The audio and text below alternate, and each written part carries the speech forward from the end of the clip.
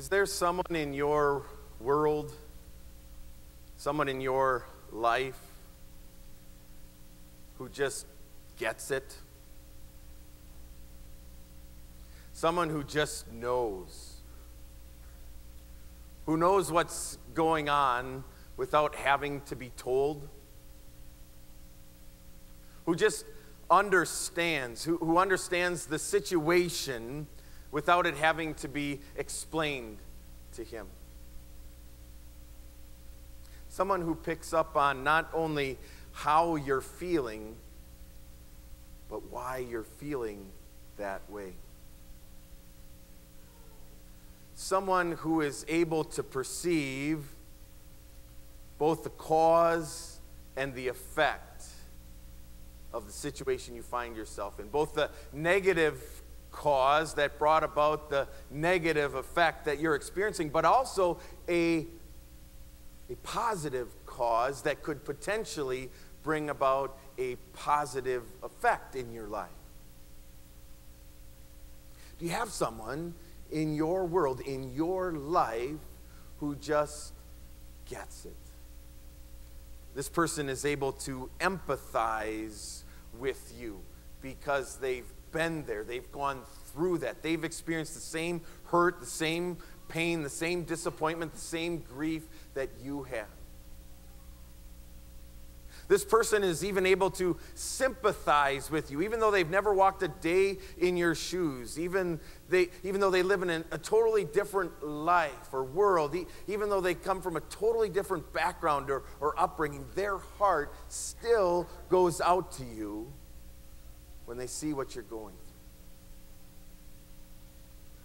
Do you have a person in your world, in your life, who just gets it? Who, who knows not only what to say, but when to say it? Who also knows what not to say? Who knows when, when not to say anything at all? Is this person someone who doesn't make life all about herself? Person who, who gets it? They take a genuine interest in you. They legitimately want to help you. Someone who, who gets it is, is someone who's going to help you see the big picture when all you can seem to do is look at that tiny little piece of the puzzle, or just the opposite.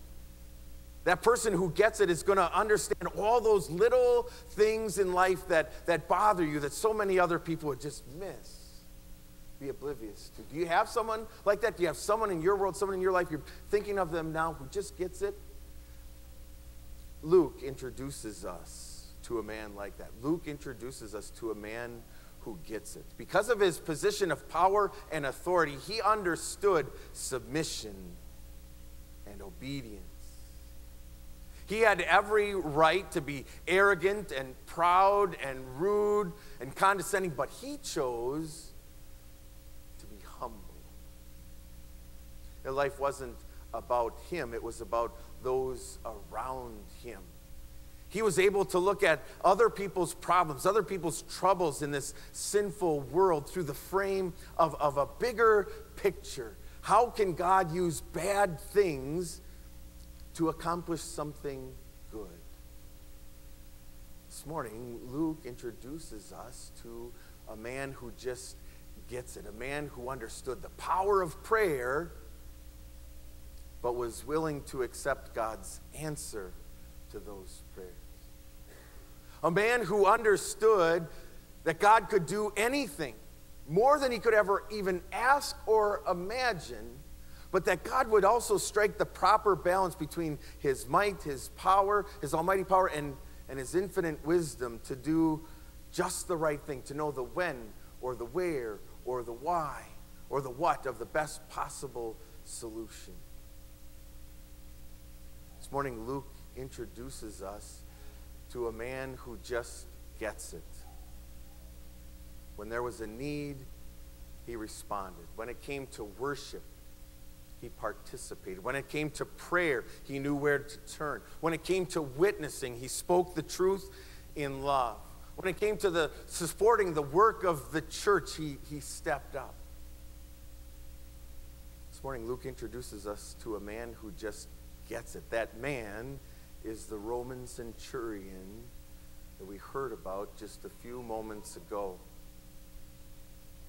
By God's grace, that Roman centurion had been brought to faith in the God of Abraham, Isaac, and Jacob, and he was waiting for the promised Savior to come. And again, by God's grace, he saw Jesus Christ as the fulfillment of that promise. But you see, it's not really the Roman centurion who gets it. No, rather, it's his faith that gets it. Faith gets it. Faith understands. Faith understands our own unworthiness. Faith trusts. Faith trusts the power of a loving God. Faith receives.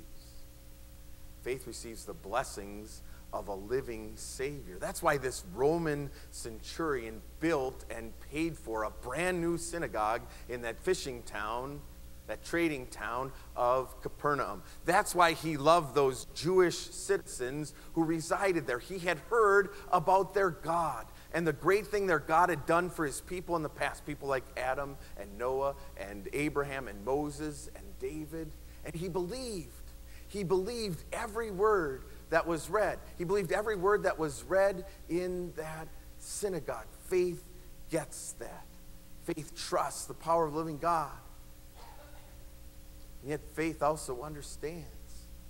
Because, contrary to what those fine Jewish men had said about him, as he's waiting for the greater son of David to come to save him from his sins, he understood his own unworthiness. He understood that he didn't deserve anything from God except punishment. He understood that he wasn't worthy of anything except death. And faith gets that. So a man with a faith like that found himself where? In God's house. The synagogue in Capernaum.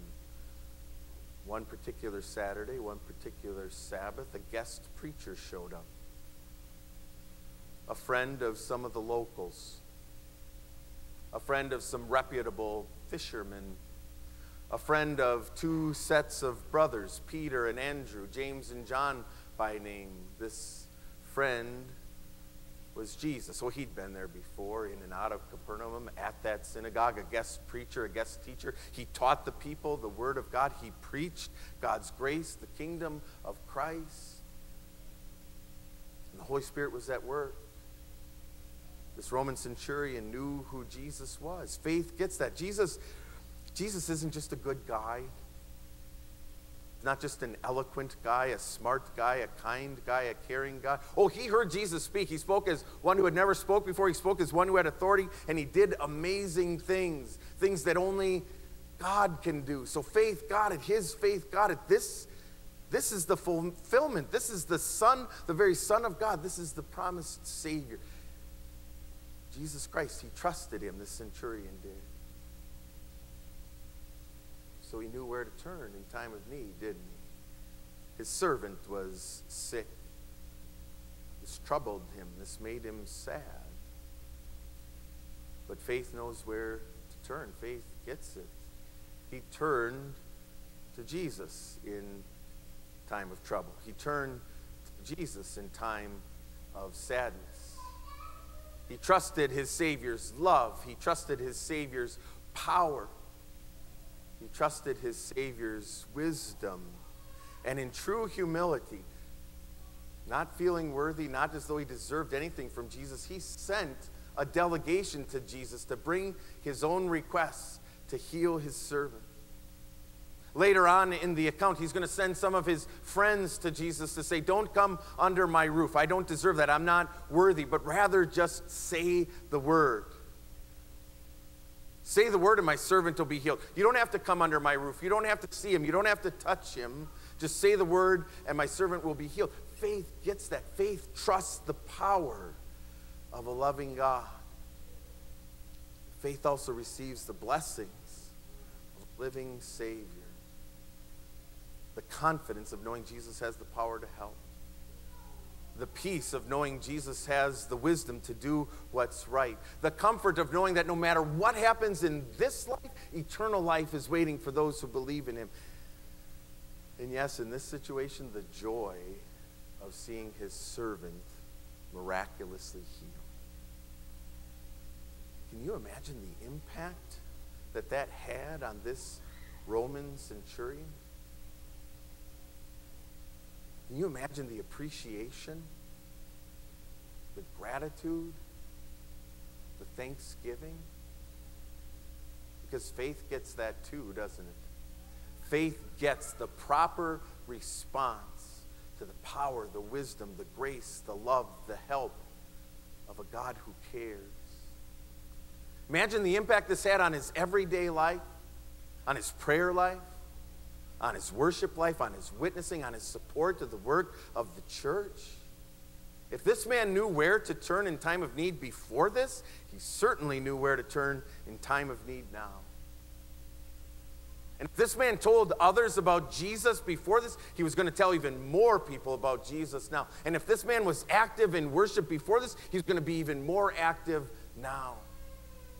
And if this man supported the work of the church before this, he would do so even more generously now. Faith gets it. We live in a sinful world bad things happen. Faith gets that too. But that's not God's fault that we live in a sinful world, that bad things happen. The world God created was perfect. No sin, no sickness, no disease, no hurt, no, no death. Blame the devil for that if you want. Blame Adam for that if you want. Blame Eve for that if you want. But don't blame God. Sin entered the world through one man, and death through sin. So here we sit today, thousands of years later. We live in a sinful world and bad things happen. So, yeah, we turn on the TV and we hear about four teens driving their car down a highway, veering ever so slightly off the road, car ending in a fiery crash, claiming the lives of four young people. Bad things happen in a sinful world, like flooding, flooding that destroys people's homes that displaces families for months, that keeps farmers out of their fields, it drives up the cost of corn. We get that. Faith, get that. Bad things happen in a sinful world. Wars, rumors of wars, Iran in the news again,